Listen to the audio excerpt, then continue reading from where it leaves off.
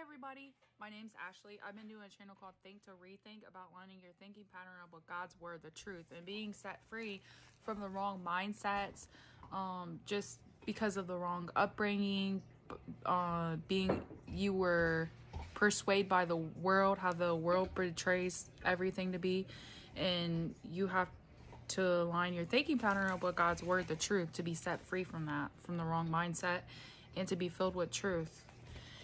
Uh, so I've been doing a series on godly spouses. So I really uh, digged a pretty deep into godly spouses, and I really want to finish the godly spouses series off with the heart condition because it's very important for our hearts to be aligned with God's will and His plans for us, and not to be deceived with other people's plans for us or our own hearts to be deceived with what we want and convince it convince ourselves that it's God, it's from it's what God wants for us and it's not. We don't want to do that, right? We don't want to deceive ourselves and cut ourselves short. So it's very important for us to know the difference. And I had this illustration hit my heart, like the Holy Spirit was speaking to me, and it's just amazing, like this illustration. And I hope you guys can follow along. This is going to be really, really long, probably little longer than the average video I do because it's really, really deep. So we're going to start with the illustration, okay? And then I'm going to dig a little deeper into that. And I have the Word of God, Scripture, to back it up. All right, so God looks at the heart, right? God, God judges our intentions of our heart. So think of it as a house that you were, you have never been inside of this house. And um, when you become a born again believer in Christ, you are no longer on the outside of the house, okay? Christ brings you inside the house because the spirit, your spirit is no longer dead. He brings you to life. So he brings you to the inside of the house, okay? This is your heart. Your, your, your heart is like a house. And before Christ, you were out on the outside of the house. But when you receive Christ and you become a born again believer and you put your your faith in uh, believing in Jesus, then you go on the inside of your house. Okay, coming on the inside of your house is Christ calling you to the narrow path and drawing you away from the broad path that you used to live in, right? Because he's he's he's inside your heart. Shh. Guys, sorry. Uh, on the inside of the house, the old has passed away and the new life has begun. So inside the house, there are many rooms with a long hallway. The rooms represent all the different areas of your life, of a person's heart, uh, their desires. The uh, areas include, but not are not limited to. So they can include more than this. This is just different categories uh, that we're faced with more uh, daily than others. So it could be finances and money. It could be career and goals. It could be hobbies and interests. It could be beliefs and opinions. And there are so many rooms of a person's heart, right?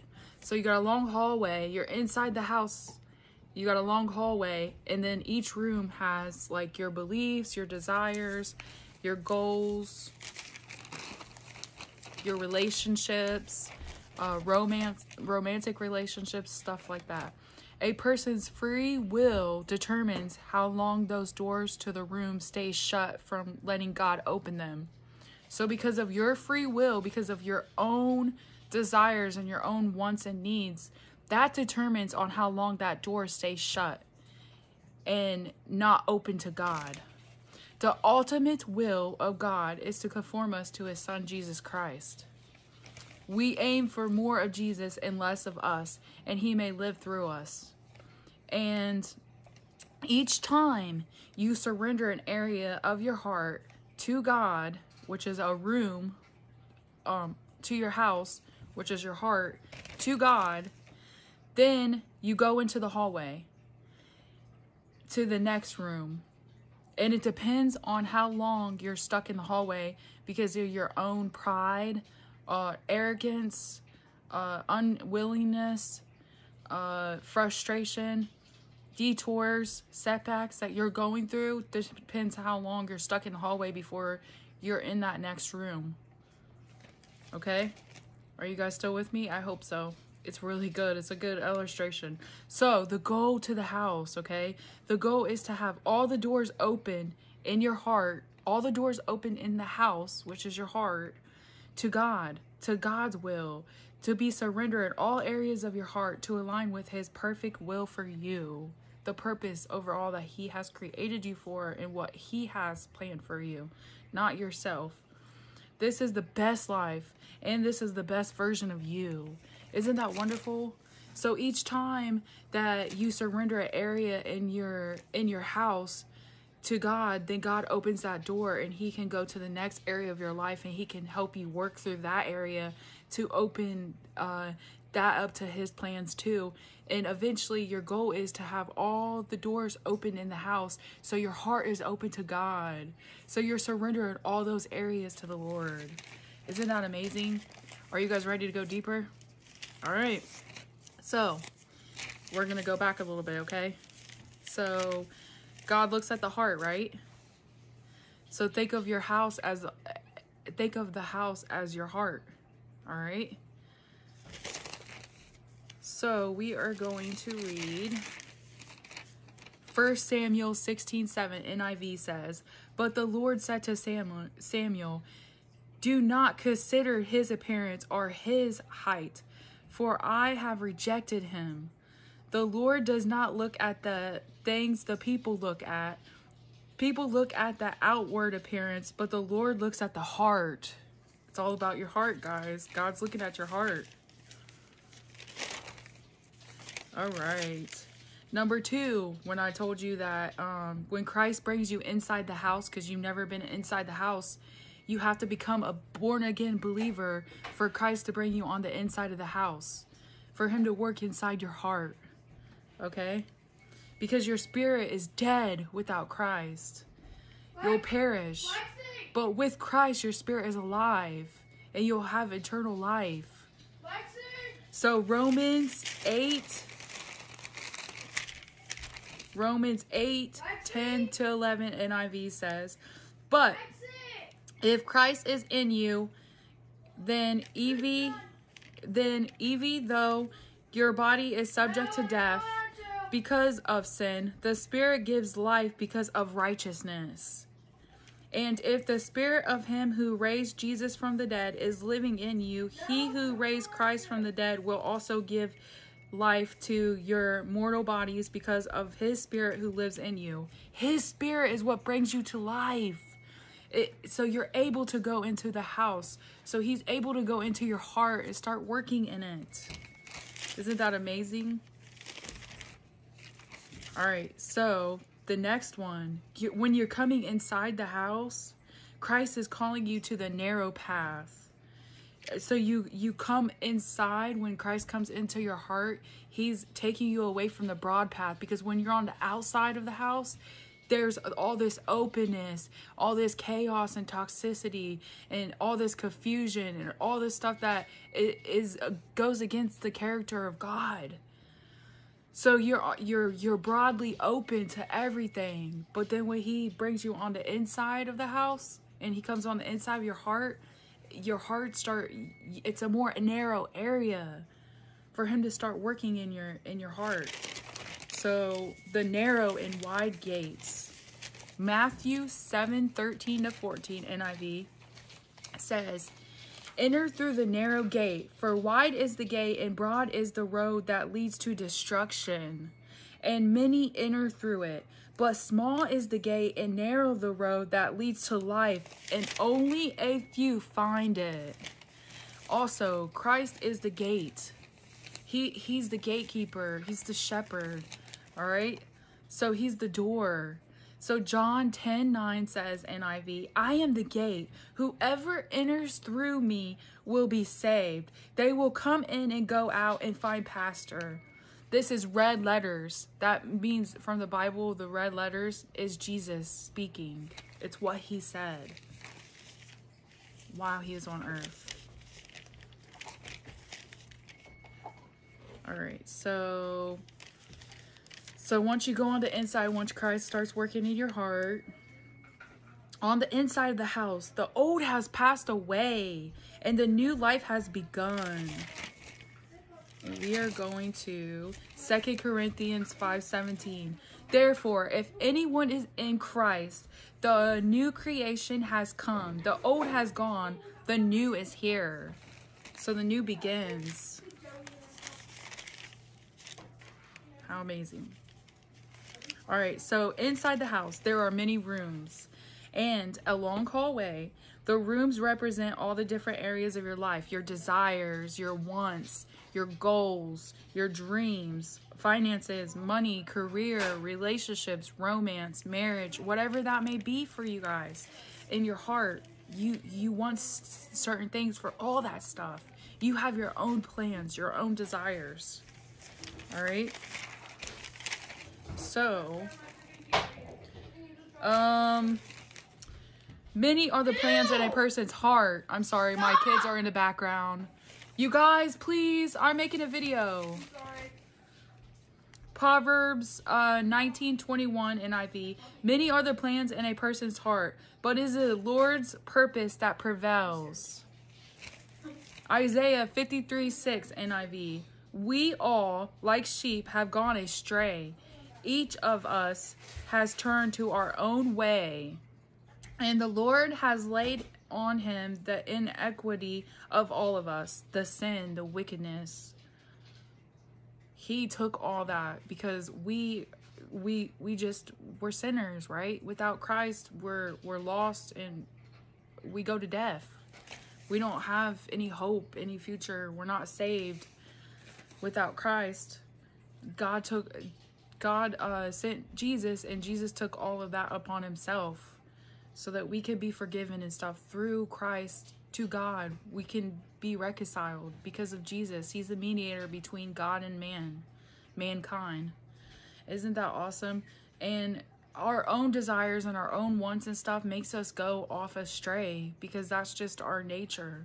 Like we just we have our own things. Like the last Bible verse says, many other plans in a person's heart, but it's the Lord's purpose that prevails. Meaning we have many plans of our own and stuff, but it may not be it's not God. It's not God's plans for us. His plans are different. Proverbs 21 2 says, A person may think their own ways are right, but the Lord weighs the heart. So we think our ways is right, but our ways leads to destruction and chaos and toxicity is setbacks and uh, just uh, unpurposeful purpose, purposeful life and a dead end. It gets us nowhere because we're only human. Isaiah 55 8 9 says, For my thoughts are not your thoughts, neither are your ways my ways, declares the Lord. Meaning his thoughts are higher for us, his ways are higher for us. There's no the way that we can understand his ways or his thoughts. They're different than ours. He's good. He has the best plans for us. Plans that we can't even have for ourselves because he knows all from the beginning to the end. He's the author of our of our the author and finisher of our faith. Like he knows everything. All right, so we went inside the house. Now we're seeing that our desires does not line up with God's desires, right? So all those rooms in the house, which is the rooms of our heart, are not going to line up right away with God's. Like we have to come to our own undoing because we have to understand, like we have to um, get to our own end with those wants and desires that we have. That way we can we can surrender it to God and uh, and align our wills and our plans, our will and our plan up with God's because He has the best plans for us. Our own plans are just chaotic and chaos, confusion, just dead ends. Like they don't get us anywhere. So we have to come to our own undoing so God can open those doors to our heart when we surrender. He can open them to His will, His way that He has for us. All right, a person's free will determines how long those doors stay shut. Oh, we do have free will, guys. So God gives us the gift of free will because who wants to be made to love someone? God chooses us. God doesn't need us, He's self sufficient. But God chooses us. But He wants us to choose Him too. He wants us to have he wants he gives us the gift for free will to choose him. He doesn't want to make us choose him.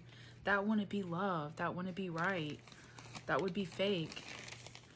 So, uh, number six, Genesis. We have free will. Genesis 2 16 through 17.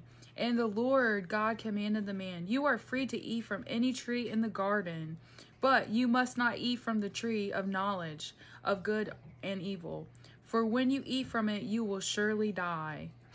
God said, You are free to eat from any tree in the garden. And he and he warned Adam not to eat. He warned them not to eat from the tree of knowledge of good and evil. He warned them, but he gave them free will to decide to do it or not. Because we all know how that turned out. They decided to do it, even though they were deceived to do it. But we still know how that turned out. All right, free will.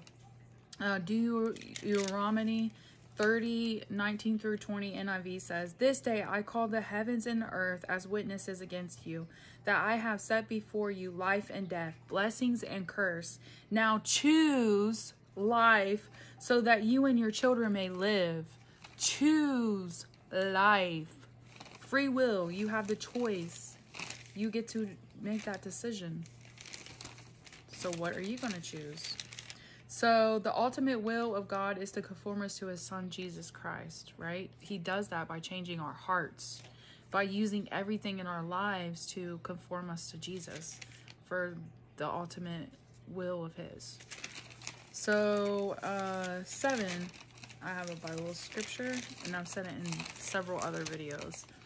Romans 8:29 NIV For those God foreknew he also predestined to be conformed to his, the image of his son that he might be the firstborn among many brothers and sisters. Amen. So we aim for more Jesus and less of us and he may live through us, right? That's what our aim is as Christians, as Christ followers. Um as we surrender those areas of our life, then we align our will up with God's will and then we start to walk in what he's called us to do and freedom from anything that would bound us in this in this world that's not of God. We start to live how he's called us to live. We start to do the things that he's called us to do, the good works that he has already preordained for us to do before the, um forming us, you know? He's already planned it. He has it all planned out. So, let's see.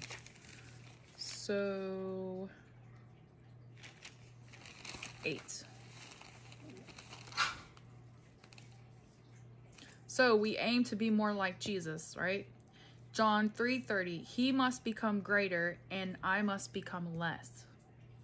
Galatians 2:20 I have been crucified with Christ, and I am no longer alive, but Christ lives in me. The life I now live in the body, I live by faith in the Son of God, who loved me and gave himself for me. 1 Corinthians 6 19 through 20. Do not, do you not know that your bodies are temples of the Holy Spirit, who is in you, who you have received from God? You are not your own. You were bought with a price. Therefore, honor God with your bodies. God, the when we are a born again believer, we have the Holy Spirit that we're uh, indwelled with, and that's the Spirit of God. So it's saying that He has to become greater, um, and we have to become less. The flesh side of us, the um, mankind, the sinful side of us, becomes less and God becomes greater. He works through us and uses us.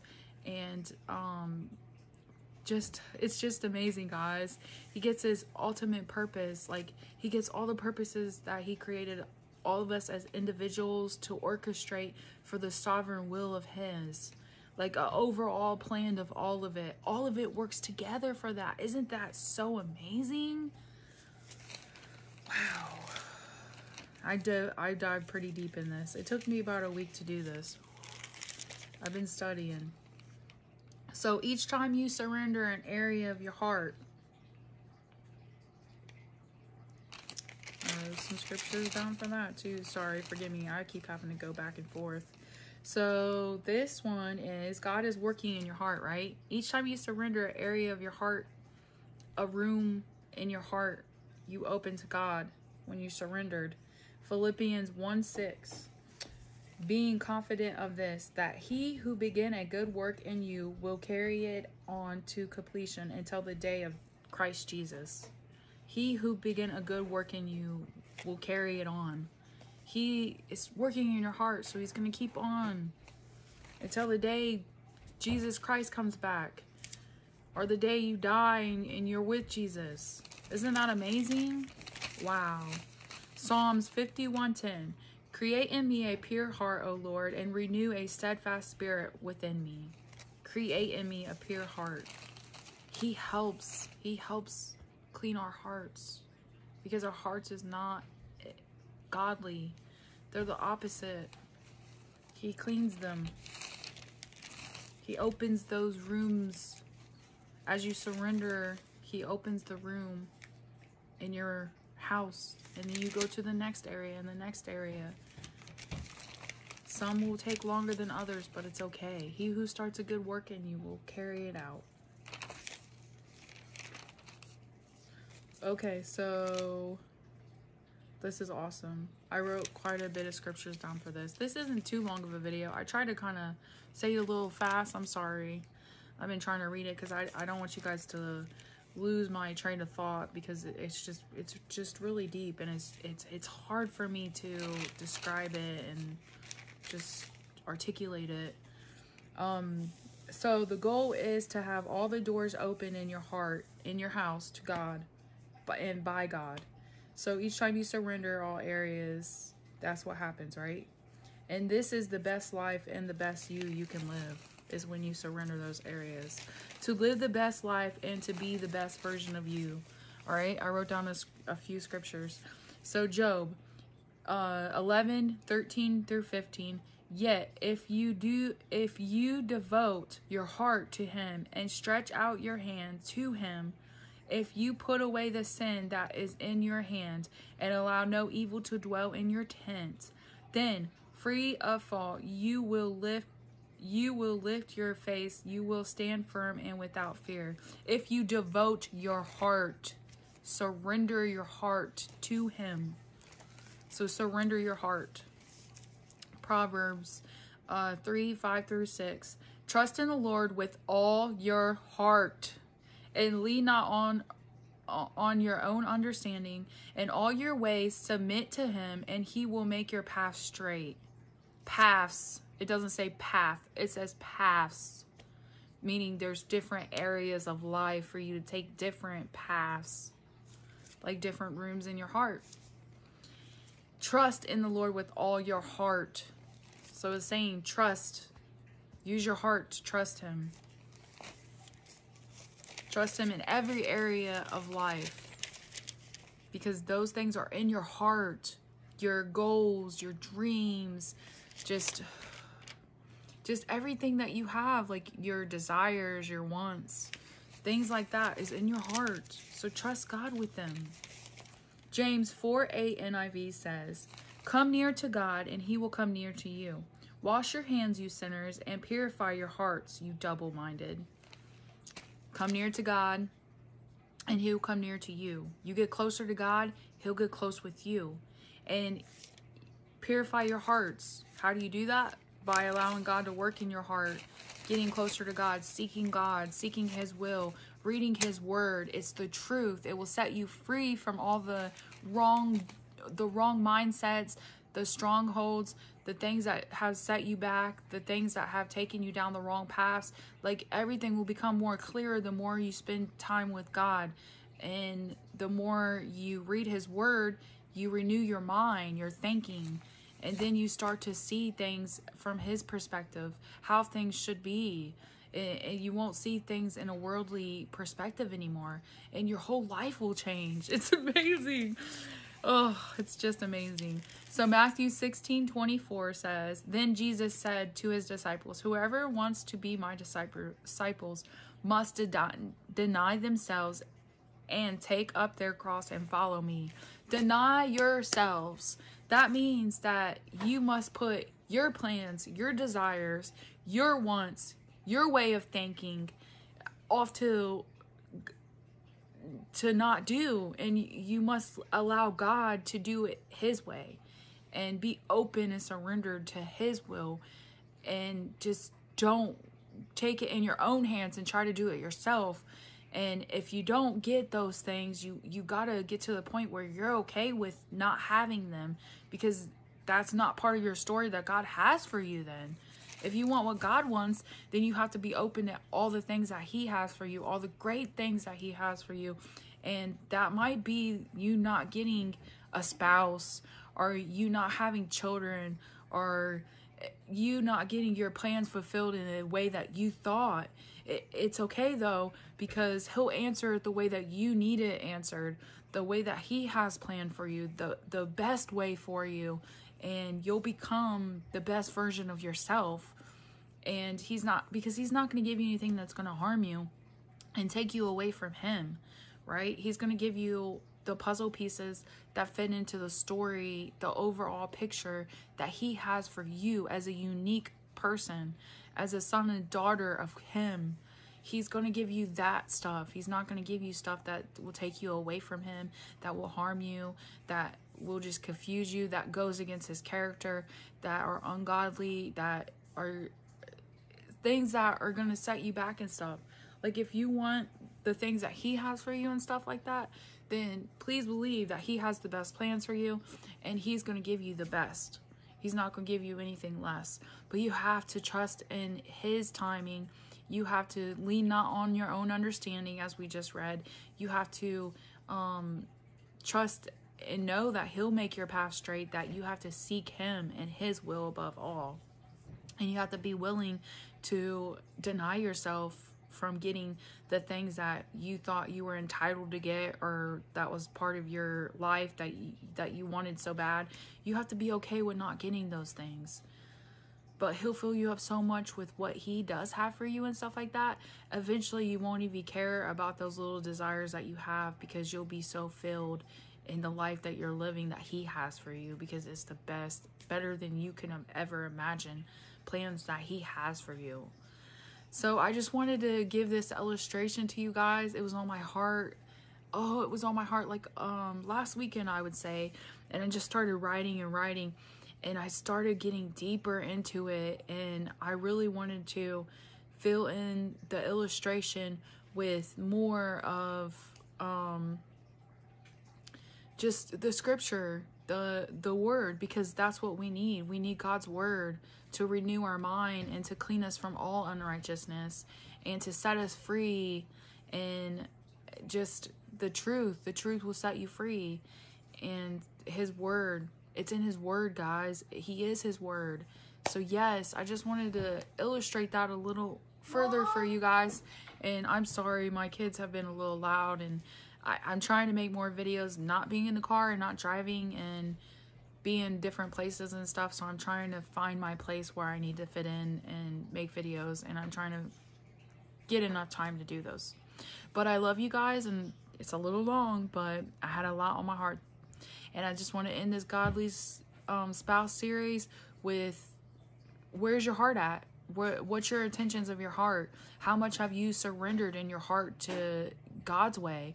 Because a godly spouse is for a purpose and it's not to make you whole or to um, make you a better person intentionally for yourself or anything like that or to do it for the wrong reasons like your intentions have to be pure because God has the ultimate plan for marriage and it's it's not a plan for us to just get with somebody to have a love story or to do it for the wrong intentions or to do it the way the world has told us to do it because we don't want to die alone or we we're bored and we're lonely and we just want someone to call and text us or we just want to post pictures on social media or something like that. No no no no.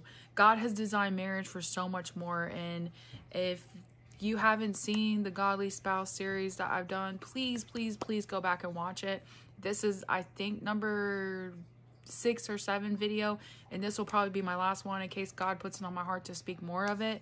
And it just goes, if you go back to the videos, it, I just talk about like God's design for marriage and what it brings, what a godly marriage brings out into Christian man and woman in a godly marriage and what God has created it for and not what the world has betrayed it to be. And it's really deep. You have to know your purpose. You have to you have to know that you have you have to know that Jesus is your everything with or without a spouse. And you have to be okay with not having a spouse or having a spouse if he's called you to. But you have to surrender your heart in all those areas. So that's why I really wanted to do like a series on the godly spouses and um this one I wanted to finish with the heart because it's it, it's all in your heart. Are you willing to let God change your heart? Are you just nagging about your spouse being some type of way or something? Are you more focused on someone else, like a relationship you're in or something? Are you just focused on God changing them and praying God changes them? Because it's not like that. You you can only pray for God to change your heart. God can work in that person's life and stuff like that and intervene because of your prayers but ultimately we have free will and it's our decision are we allowing god to have his way do we want his will for our lives or are we holding back like are, are we keeping those doors to our house our heart closed? Like ultimately that's it. So what is the condition of your heart? All right? I hope this helped you guys and just remember marriage is for a purpose and not what the world has portrayed marriage to be. Marriage is a covenant between a man and a woman before God and it ultimately the triangle of pointing up to God it it's it's his design and he has created good works for a married couple to do and individuals. So you're called to do those works. So do those works. All right until next time i love you guys. Have a blessed day. Bye